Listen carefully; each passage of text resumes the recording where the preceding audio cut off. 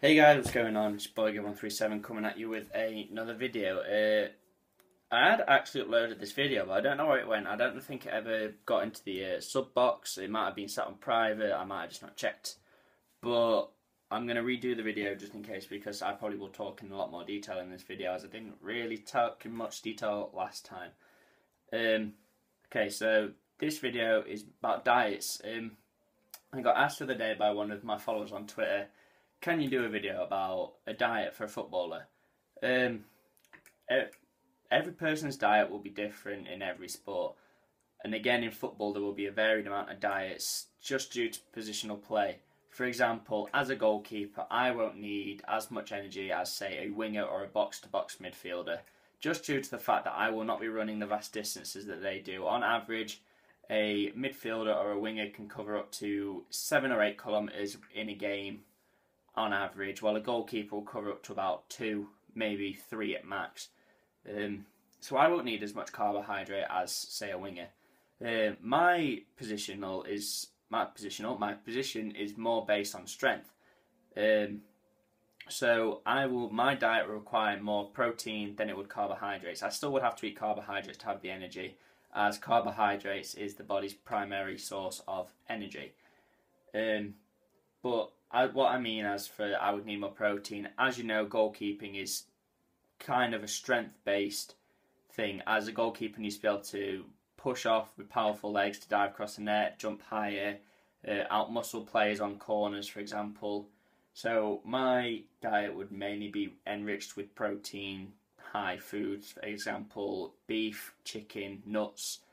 Exa- uh, just a few examples that you might know already, might not know, I'll try and keep this as short and as in less detail as I can. So obviously, as I'm saying, strength. Everyone knows strength and power comes from muscles. Uh, all muscles, the only way they grow is due to either lifting weights or working out. Obviously, I've talked about me working out recently. I've started going to the gym at least three times a week and started doing a lot more strength based stuff. For example, weightlifting, uh, I do a lot of lower body work, some upper body work, um, just to help me build muscle mass. Um, I'm not trying to get too big, simply due to the fact that if I get too big, I, it will hinder my goalkeeping performance. I'm just trying to keep myself lean and fit um, and build strength to help me, obviously, kick further, throw further, dive further. Um, all right, I'll get on to the actual point I was meaning to talk about.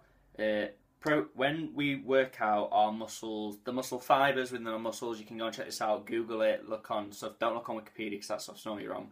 Uh, go and look about uh, muscle during workout. When we work out, our muscle fibers within the muscle, which are known as myofibrils, uh, tend to break and tear apart. I know that sounds bad, and you might be like, "Oh, well, isn't that what injuries are?" That is what injuries are, but that's when they fully tear. Uh, what happens is you get micro tears within your muscle fibers, which when you're working out, they tear and afterwards they rebuild. Uh, as you'll see, a lot of people, if you do go to the gym and you are my age and you may not do weights, but you see a lot of people with drinks afterwards, those are supplements.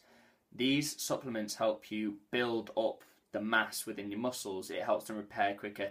Like I'm saying, I eat a lot of protein based foods. That allows my muscles to build bigger faster than it would be if I just worked out and came home and ate crap for example, like crisp chocolate and stuff like that, it wouldn't help my muscles as much. I'd just be putting fat back on my muscles rather than allowing the muscle uh, fibers to build. So that is mainly what a goalkeeper would be eat. Well, that's mainly what I eat. You might have a completely different diet that might work for you. This is my opinion. Everyone is entitled to their own opinion. Uh, for if you're watching this and you're not a goalkeeper, for example, say you're you're that box to box midfielder, like I said, your diet will be more based around carbohydrates simply due to the fact that, as I said, carbohydrates is the main primary source of energy within the body. It goes carbohydrates, protein, no, carbohydrates, fat, and then protein. If you get down to using protein, it can be very dangerous for your body. So we all need that source of carbohydrate. Like I said, you you you as I know, I know for marathon runners and people who are running longer distances, they do something called carbo loading the night before. Carbo loading is simply when you eat a lot, you don't eat a lot of carbohydrates maybe a week before the event. Say you've got a big cup final coming up and you're that box to box midfielder. You may not eat a lot of carbohydrates the week before, but as it gets to the week of the event, you eat a lot of carbohydrates, for example, rice, pasta, bread, a lot before. And on the night of it, you do the carbo loading, which is you eat a large starchy meal. Starch is another form of carbohydrate, it's a complex carbohydrate.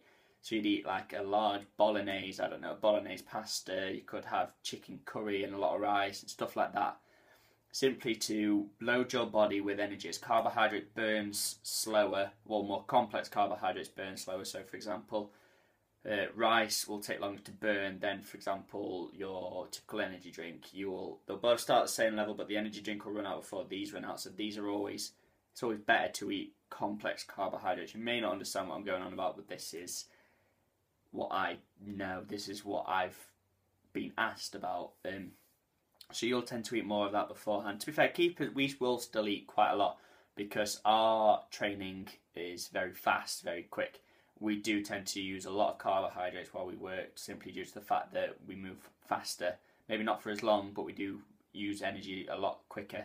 So our energies of complex carbohydrates will drop faster than maybe uh, a regular like a strikers during training because we work faster for a short period of time, but you work harder for a longer period of time. That that doesn't make any sense. It's the same thing, but you get you should be getting what I'm going at. So yeah, um, I don't know if there's really much else I can say. That is basically what it is. Uh, if you guys want to go and look up all this, I might have been completely wrong. Please go ahead, go into Google and search uh, about muscle fibers. Look up about how protein helps body. Look up about how carbohydrates is the primary source of energy in the body. Please don't use Wikipedia. A lot of you will use it and go straight to Wikipedia. Sometimes the information on there is false.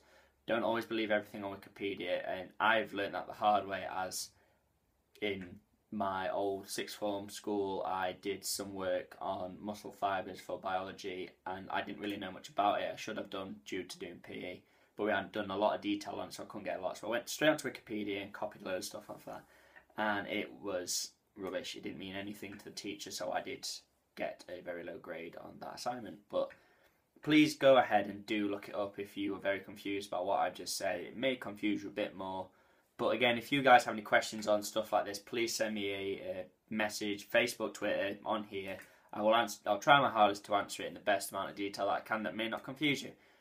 But anyway, guys, uh, it's been your boy Give One Three Seven, and I hope you enjoyed this video.